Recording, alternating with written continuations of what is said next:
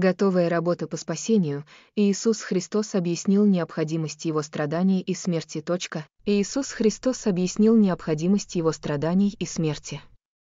Его смерть должна была открыть путь грешникам, чтобы они получили прощение своих грехов и могли попасть на небеса.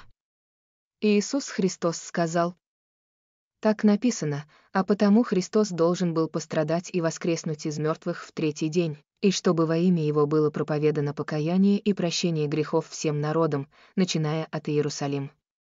И вы свидетели этих вещей. Вот, я посылаю обетование Отца моего на вас, но держитесь в городе Иерусалиме. Пока не претерпите силы свыше, Луки 24,46-49. Урок Иисус Христос умер за грешников на кресте, и это была миссия выполнена. Христос открыл всем людям символический смысл своей смерти и воскресения.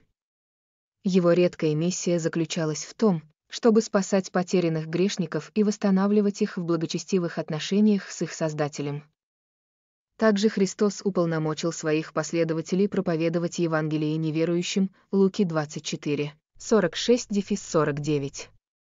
Таким образом, верующие связаны небесами, и они также имеют силу Святого Духа, чтобы бесстрашно проповедовать Евангелие по всему миру. Хотя Христос страдал, чтобы совершить дело спасения, но Он сделал его доступным для всех людей безвозмездно. Святой Дух также свободен. Поэтому каждый, кто исповедует Иисуса Христа как Господа, будет пользоваться всеми его благами.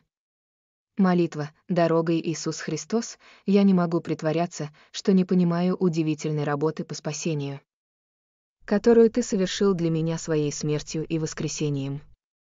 Ты умер за мои грехи и даровал мне вечную жизнь.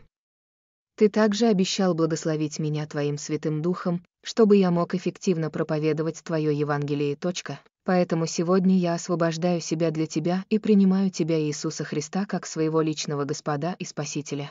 Я также прошу, чтобы Твой Святой Дух наделил меня силой, которая позволит мне эффективно проповедовать Твое Евангелие.